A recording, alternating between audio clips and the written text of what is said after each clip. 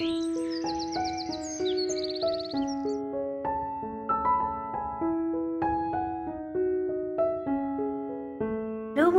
Good morning. আমাদের চ্যানেলে তোমাদের স্বাগত জানাই। আমি তিতাস্মিতা আমি আবার একটা নতুন ব্লগ নিয়ে চলে এসেছি। তোমরা সবাই কেমন আছো? আশা করছি তোমরা সবাই খুব ভালো আছো, আমরাও ভালো আছি।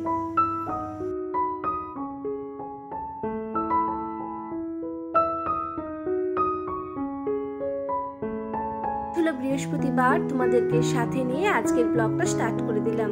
আশা করছি আজকের ব্লগটা তোমাদের ভালো লাগবে।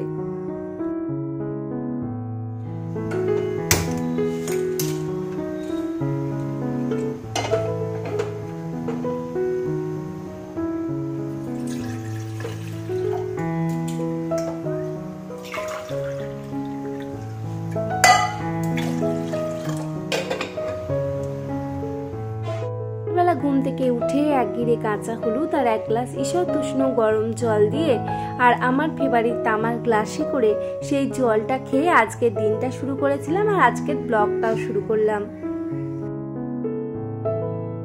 সকালে ঘুম থেকে উঠে এনার্জি বুস্ট করে নিয়ে রান্নাঘরে চলে এসেছি। রান্নাঘরটাকে বড়ই ভালোবাসি। তাই এই ব্লগের মধ্যে থেকে এই রান্নাঘরটাকে কোনোভাবেই বাদ দিতে পারি না। যাই হোক, তারপরে এসে দেখো সবার জন্য চা বসিয়ে দিলাম। সবার বলতে আজকে মায়ের চা খাওয়া হয়ে গেছিল। আমার আর হাজবেন্ডের জন্যই মিলিয়ে আজকে চাটা বসিয়েছিল। তারপরে রান্নাঘরে এসে টুকিটাকি কিছু বাসন ছিল। সব বাসন ধুয়েই রেখেছিলাম, জানো তো? কিন্তু মেয়ের এই বাসনগুলো আমি রাতে ধুয়ে রাখলেও অভ্যাসবশতই বলতে পারো আর আমার কি বলব, খুঁতখুতানি বলতে পারো। প্রতিদিন সকালে আমি আর একবার মেয়ের বাসনগুলো ধুয়ে নিই। তারপরে দেখো ভাত আর আলু সেদ্ধ যেটা আমার প্রতিদিন সকালের ডিউটি, আমি সবার প্রথমে ভাত আর আলু সেদ্ধ দিয়ে বসিয়ে দিই। এরপর আর কিছু হোক আর নাই হোক, যদি তরকারি নাই থাকে, ভাত আর আলু সেদ্ধ থাকলে দেখবে আর কিছু লাগে না।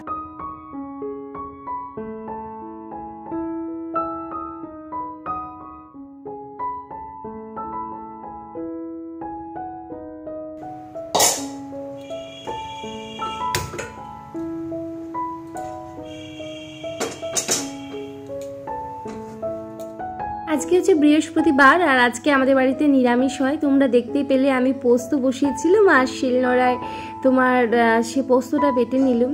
আমার যেটা মনে হয় যে শিলনোড়ায় পোস্ত বাড়লে তার টেস্টটা একটু ভালোই হয়, তাই না? মিক্সিতে বাটলেও হয় যখন সময় হয় না তখন কি আর শিলনোড়ায় বাটা হয়? মিক্সিতেই বেটে নিই। আর আর একটা টিপস তোমাদের সাথে শেয়ার করছি হয়তো তোমরা অনেকেই জানো তাও আমি যেটা জানি আমি রান্নায় অত ভালো নয় কিন্তু আমি যতটুকু জানি ততটুকুই তোমাদের সাথে শেয়ার করছি। সেটা হচ্ছে হলুদ দিয়ে দেওয়ার পর আদা দিলে দেখবে আদা থেকে যে জলটা ছিটে ওঠে না সেই জলের ছিটেটা কিন্তু লাগে না।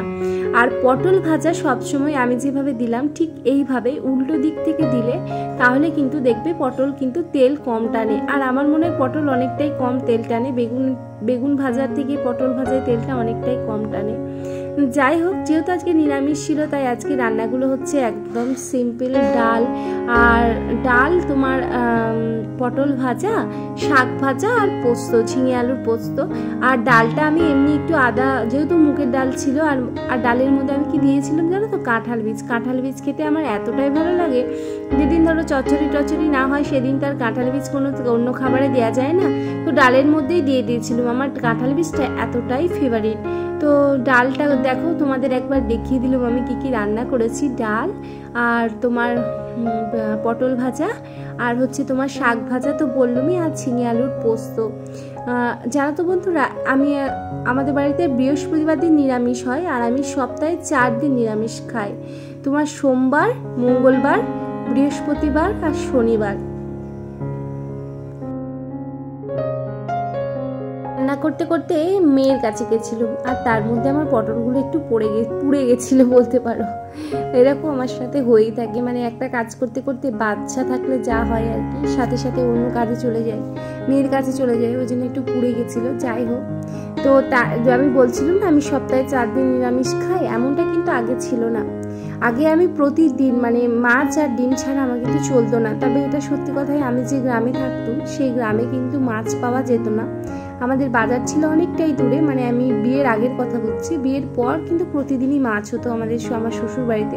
কিন্তু বিয়ের আগে আমি মাছটা খুব কম খেয়েছি, কারণ আমাদের ওখানে পাওয়া যেত না। কিন্তু ডিমটা প্রতিদিন খেতাম। কিন্তু হ্যাঁ আজ এক বছর আগে হঠাৎ করে জানো তো আমার লিভারের প্রবলেম দেখা দিল। তো আমি লিভারের যেহেতু প্রবলেম দেখা দিয়েছিল তো আমি কিছুই খেতে পাচ্ছিলাম না। মানে জলটা খেলেও আমার অম্বল হয়ে যাচ্ছিল। আমি এরকম গল্প তোমাদের সাথে আগেও করেছি। মানে আমার শরীরে এতটাই প্রবলেম ছিল। আজ যে আমাকে দেখছ মানে আমি যে এইভাবে মানে তো আবার উঠে দাঁড়াবো, ঘুরবো, ফিরবো, আনন্দ করব জীবনটাকে এইটাই আমি মানে মানে কি বলব, এটাই আমি ভাবতে পারিনি। এখন আমি আবার অন্য স্বপ্ন দেখছি। মানুষের আর কি যা হয় তখন স্বপ্নটা একটাই ছিল যে কীভাবে সুস্থ হব, আবার কীভাবে উঠে দাঁড়াবো। আবার দেখো ঠিক যেই সুস্থ হয়ে গেছি, তখন স্বপ্ন আবার অন্য আর একটা স্বপ্ন দেখতে শুরু করে দিয়েছি। মানে আমাদের এগুলোই মানে আমাদের জীবনে এটাই মানে আমরা স্বপ্ন দেখতে ছাড়ি না।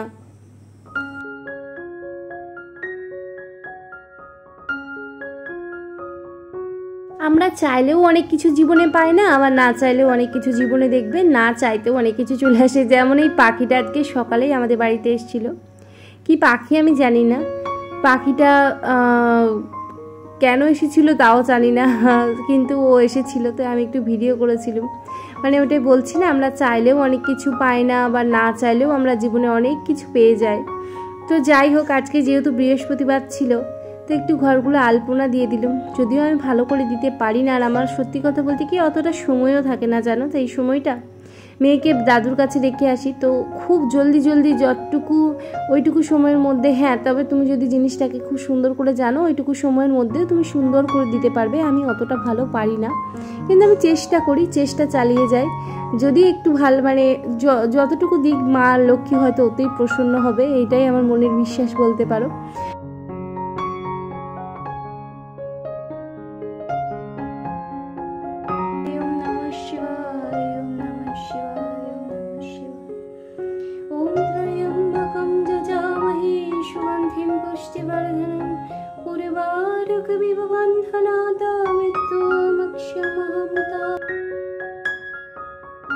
টুজো করে অনেক দিন পর একটু হেলদি ব্রেকফাস্ট করব বলে এসেছিলাম।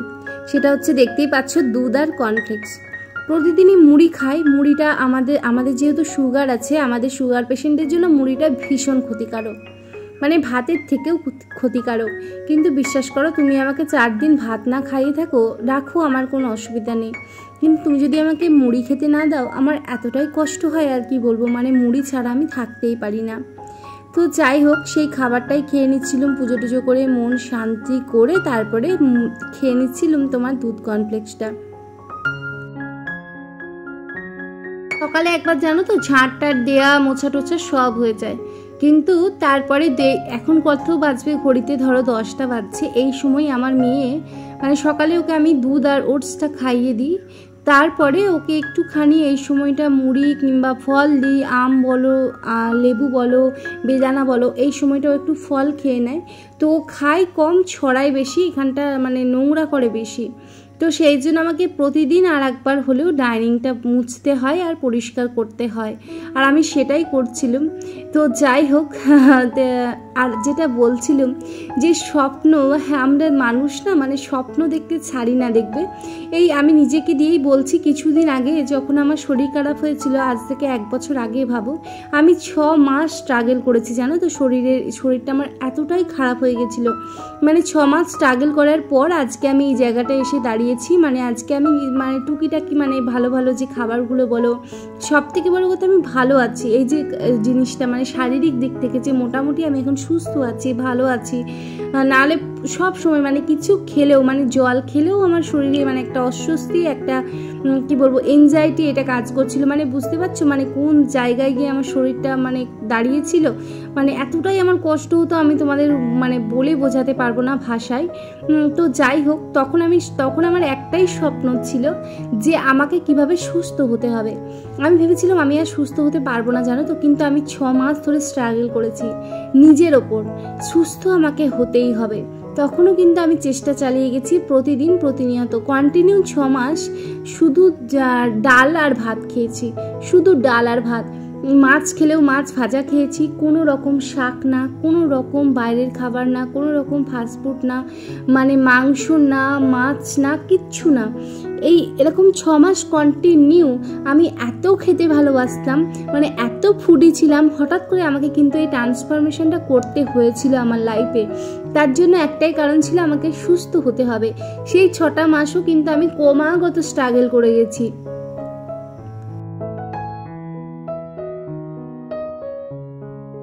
তখন একটাই লক্ষ্য ছিল, একটাই স্বপ্ন ছিল মানে দিন রাত একটাই কথা ভাবতাম, কীভাবে আমি আবার নর্মাল লাইফ লিড করব। আমি তখন এটাও, আমি তখন প্রথম প্রথম আমি এটা খুব হতাশাগ্রস্ত হয়ে গেছিলাম, জানো তো? যে আমি আর পারছি না। আমি আর পারছি না, আমি কিচ্ছু পারছি না, আমার কিচ্ছু ভালো লাগছে না। মানে শরীরের এতটাই অস্বস্তি, এতটাই কষ্ট, এতটাই জ্বালা, যন্ত্রণা, বলতে পারো ক্রমাগত কন্টিনিউ প্রতিটা দিন, কিন্তু তারপরে একদিন কিন্তু চমৎকার হয়েছিল। আর তার সাথে ছিল আমার চেষ্টা প্রতিদিন। মানে বলছি না, ছটা মাস কন্টিনিউ আমি কিচ্ছু খাইনি, বিশ্বাস করো বন্ধুরা। মানে শুধু ডাল আর ভাত, বুঝতে পারছ? মানে কী অবস্থা? আর আমরা বাঙালিরা ডাল আর ভাত খেয়ে থাকব, এটা হয়? এটা এটা বাইরের মানুষদের জন্যই সম্ভব। আমরা ডাল আর ভাত খেয়ে থাকব নাকি? মাছ, মাংস, ডিম কিচ্ছু খাব না। শুধু ডাল আর ভাত খেয়ে থাকব, এটা আমরা ভাবতে পারি? কিন্তু আমি কন্টিনিউ খেয়েছি। ডিম তো খাইনি। ডিম লিভারের প্রবলেম হলে ডিম এমনিতেও খাওয়া চলে না। তো আমি ডিম বলো, মাছ বলো, কিচ্ছু খাইনি। তো যাই হোক, তোমাদের সাথে গল্প করতে করতে দেখো আমার অনেক কাজই হয়ে গেল। নিচের ঘরটা মোছা হয়ে গেল আর রান্নাঘরটা আমি সবার শেষে মুছি, কারণ রান্নাঘরে দাঁড়িয়ে দাঁড়িয়ে রান্না টান্না করি তো। নোংরাগুলো পড়ে, তো সবার শেষে একবারে রান্নাঘরটা মুছে নিই। তো রান্নাঘরটাও মুছে নিলাম একটু ভালো করে, আর রান্নাঘরে একটু ভালো করে না মুছলে দেখবে নোংরাগুলো রয়ে যায়। যতই তুমি পরিষ্কার করো না কেন, মশলা টশলা যে আমরা তরকারির মধ্যে দিই তখন তো নিচে পড়ে। ওই জন্য আমি একদম শেষে রান্নাঘরটাকেও একেবারে ভালো করে মুছে নিলাম। তখনও আমার চেষ্টা ছিল যে আমি সুস্থ হব। আর দেখো, ভগবান কিন্তু একদিন চমৎকার করেছিল। তো আমি তখন একটাই স্বপ্ন দেখেছিলাম, আমাকে সুস্থ হতে হবে। আর সেই সেই সুস্থ হওয়ার জন্য আমি ক্রমাগত চেষ্টা করে গেছি কন্টিনিউ মানে প্রতিদিন প্রতিনিয়ত কীভাবে সুস্থ হওয়া যায়। আজও আমি চেষ্টা করছি কীভাবে ইউটিউবে একজন সফল ইউটিউবার হওয়া যায়। আমি কিছুদিন যাবত আমি না হতাশাগ্রস্ত সত্যিই হয়ে পড়ছিলাম। যে ইউটিউব তো আমার ভিডিও প্রমোট করে না, আমি অনেক বড় ভুল করেছি। হঠাৎ করে ব্লগিং করতে করতে আমি কেনই বা শর্ট ভিডিও বানাতে গেলাম এইসব নিয়ে আমার সব সময় মাথার মধ্যে একটা চিন্তা চলছিল এবং এর জন্য আমি খুব ডিপ্রেসড হয়ে যাচ্ছিলাম, জানো তো? ক্ষতিটা সেই আখেরে আমারই হচ্ছিল। আর সব থেকে বড় কথা এটাই, কারণ ইউটিউব তো আমি তো ডিপ্রেসডই হয় আর আমি তত চিন্তা ভাবনাই করি। ইউটিউব তো আমার ভিডিও প্রমোট করবে না, যেদিন ইউটিউবের ইচ্ছা হবে সেদিন আমার ভিডিও একদিন হয়তো হঠাৎ করে ভাইরাল হয়ে যাবে। হঠাৎ করে হয়তো আমি অনেক মানুষের ভালোবাসা পেয়ে যাব। সেই দিনটা পর্যন্ত আমাকে অপেক্ষা করতেই হবে। এটা আমি একটু বেশি মানে একটু দেরি করে বুঝেছি। চেষ্টা করলে কিন্তু ভগবান একদিন সত্যি আমাদের কথা শুনবে, এটা আমার মনের বিশ্বাস। চেষ্টা চালিয়ে গেলে একদিন ভগবান নিশ্চয়ই, আমি যেমন আগে ছ মাস কন্টিনিউ চেষ্টা করার পর ভগবান কিন্তু আমার দিকে তাকিয়েছিল। কারণ ভগবান দেখেছিল এই মেয়েটার চেষ্টার কোনো ত্রুটি নেই, তেমন আমি এখনও চেষ্টা করে যাচ্ছি আর আমি চেষ্টা করে যাব এটুকু আমি ভেবে নিয়েছি। তো ভগবান একদিন নিশ্চয়ই আমার দিকে তাকাবে, সত্যি বলছি, এটা আমার মনের এখন দৃঢ় একটা বিশ্বাস বলতে পারো। কিছুদিন আগে আমি সত্যি একটু মানে কি বলব ডিপ্রেস হয়ে যাচ্ছিলাম। আমার একটু মনটা খারাপই লাগছিল যে আমি কিছু করতে পারছি না, আমার ভিডিও মানুষ দেখছে না। এখন আমি ওগুলো নিয়ে একেবারেই ভাবনা, চিন্তা ছেড়ে দিয়েছি। নিজের কাজ করে যাব, নিজের স্বপ্ন দেখেছি। স্বপ্নটা একান্তই আমার নিজের, সেই স্বপ্ন আমাকে কেউ দেখায়নি। আর ইউটিউব করো, এই কথাটা কেউই বলেনি। আমার হাজব্যান্ড অনেকদিন আগেই বলতো যে, তুমি ইউটিউব করো। আমি যখন খুব ডিপ্রেশনের মধ্যে ভুগতাম যে কিছুই করলাম না লাইফে না করলাম পড়াশোনা, না করলাম, না ভালো করে না করেছি পড়াশোনা পড়াশোনা করিনি বলে না করি চাকরি, না করি কিছু, তো তখন আমার হাজব্যান্ড কিন্তু আমাকে বলতো, তুমি ইউটিউব করো। তখন আমার এতটাই লজ্জা লাগতো যে ইউটিউব করা তো অনেক দূরের কথা মানে আমি কি বলব, এটা আমি স্বপ্নেও ভাবিনি। তো স্বপ্নটা হঠাৎ করেই আমার জীবনে এসেছিল। আমি হঠাৎ করেই স্বপ্ন দেখতে শুরু করি, আমি একজন ইউটিউবার হব। তো সে যেরকম স্বপ্ন দেখা, সেরকম কাজ। তো আমি ইউটিউবে এসেছি আর আমি কিছু মানুষের ভালোবাসা পেয়েছি। এটাই আমার জীবনের সব থেকে বড় পাওয়া বলতে পারো। আর যাই হোক বন্ধুরা, যতবার তোমাদের ধন্যবাদ দিই, ততবারই আমার মনে হয় যে আমার কম হয়ে যাচ্ছে। তোমাদেরকে আমার সব সময় অসংখ্য অসংখ্য ধন্যবাদ। কারণ তোমরা যেটুকু ভালোবাসা দিয়েছ, এটুকু ভালোবাসা নিয়ে আমি জীবনে এগিয়ে যাব। আমি আরও ইউটিউবে ভালো ভালো ভিডিও বানানোর চেষ্টা করব। আমার যতটা সামর্থ্য, সেই পুরো সামর্থ্য দিয়ে আমি চেষ্টা করব যাতে তোমাদের এন্টারটেনমেন্ট করতে পারি, তোমাদের কোথাও গিয়ে আমার ভিডিও ভালো লাগাতে পারি। তো যাই হোক, চেষ্টাটা আমার, স্বপ্নটা আমার, পুরোটাই আমি চেষ্টা করে যাব।